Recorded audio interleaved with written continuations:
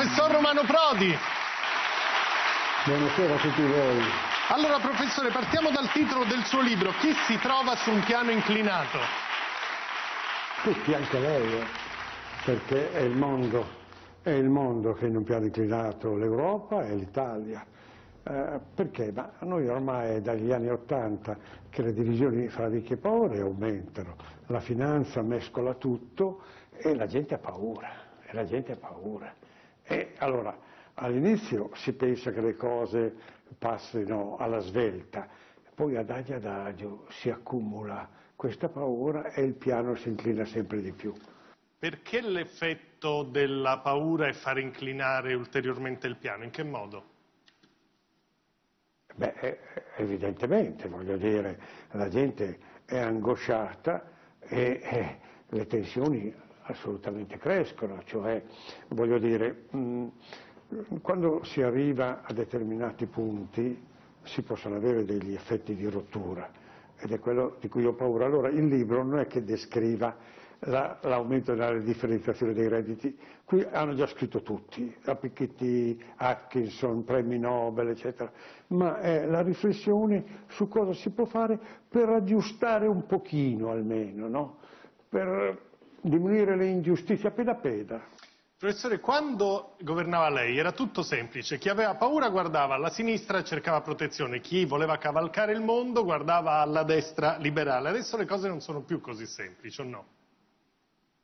Beh, per forza, perché il mondo in generale guardava la destra liberale, non il mondo occidentale, perché c'era diffusa questa idea che la differenziazione dei redditi potesse produrre più crescita.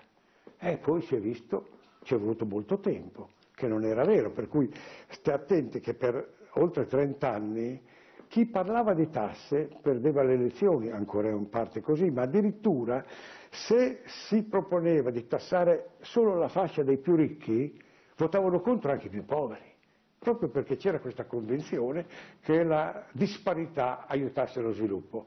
Poi si è, ci si è accorti che non è vero e allora il piano si è inclinato sul serio. Senta professore, però sono almeno 3-4 anni che il centro-sinistra governa. Letta, Renzi, Gentiloni, lei è sicuro che questa sia l'area giusta a cui consegnare un paese in crisi? Ma mi dica quale può essere l'altra area eh, e poi dopo ci mettiamo d'accordo. Perché allora io le dico, e prima di questo chi c'era? Eh, eh, eh, eh, quando si descrivono questi grandi eventi di lungo periodo, sì, si possono dare le colpe a breve, certamente la colpa è sempre dell'ultimo, dell'ultimo governo, ovviamente, no? ma bisogna però pensare seriamente a qualcosa di, di, di più serio. Ecco, e qui siamo di fronte alla necessità di correzioni forti, di correzioni forti. Però correzioni forti, professore, se facciamo il conto scuola, pubblica amministrazione e lavoro sono temi su cui ad esempio Renzi ha inciso. In che cosa si è sbagliato?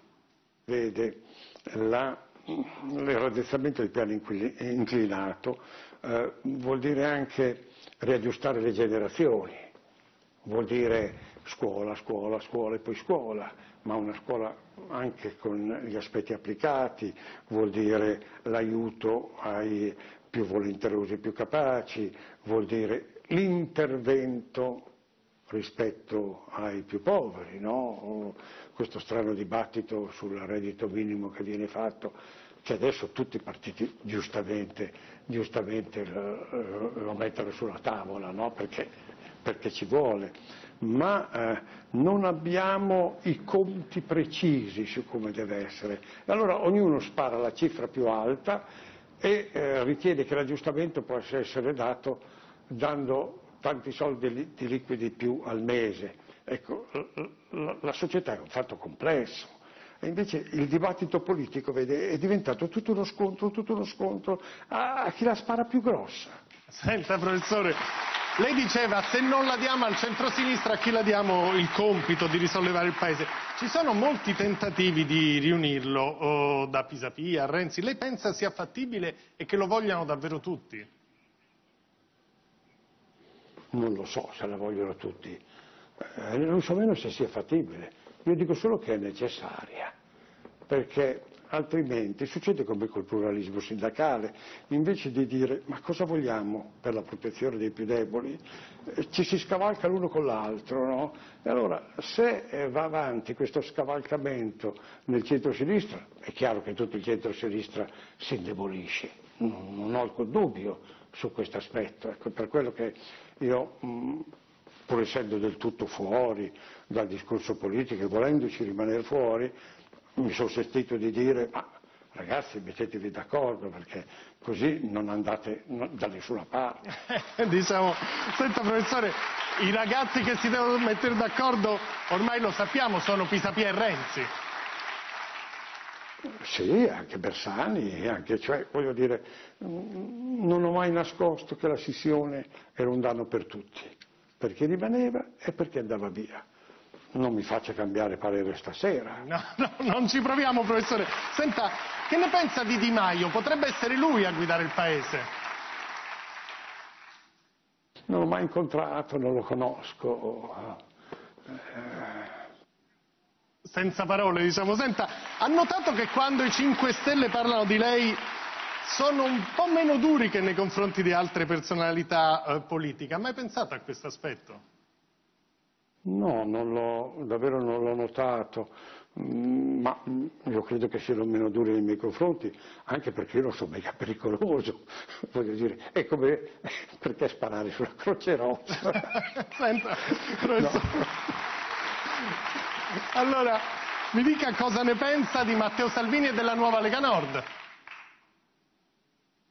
Mm, beh, secondo me proprio ha sbagliato la storia, voglio dire, il populismo avanza. Dove è avanzato il populismo è quando questo populismo ha tolto tutte le proprie radici, no? non è né ascrivibile al fascismo, né al comunismo, né alla destra né alla sinistra. E Salvini invece è rimasto fermo alle radici, quindi ha, degli enormi limiti nella sua capacità di espansione. Cioè, per essere molto concreto, Le Pen padre fascista arrivava al 12,5%, la figlia che si è messa a prendere voti qui e là anche dagli operai ex partito comunista ne prende più del doppio, perché il populismo vuol dire dire che tutto è sbagliato, come Bartali, no? quando diceva tutto è sbagliato, tutto è sbagliato. Senta professore, le è mai capitato di pensare che da una parte 5 Stelle e dall'altra la Lega Nord che il più saggio all'opposizione sia rimasto proprio il suo nemico, Silvio Berlusconi? Eh, saggio nel senso che nel senso che vuole eh, equilibrarsi in questa situazione difficile, sì, è arrivato perfino al partito degli animalisti, quindi eh, insomma, l'idea di mi viene in mente, è più, è più furbo, ecco. Eh, però, vede, mh, mm, dipende dal discorso saggezza. Berlusconi negli ultimi eh, periodi ha sempre nominato un suo successore e poi lo ha ucciso. Eh, che vuol dire eh, che vuole rimanere al centro della scena, della scena politica. È un, secondo me è, un, è molto interessante da tenere presente, no? Perché vuol dire che... Beh, mi sa che, mi sa che Matteo Renzi questo lo tiene presente in maniera ben viva, no? Basta, come si accorderanno con una legge elettorale proporzionale che devasta il Paese, come si accorderanno lo si vedrà dopo le elezioni purtroppo, Qui, se continuiamo così noi garantiamo l'instabilità. Professore grazie, grazie di essere stato con noi. Gracias.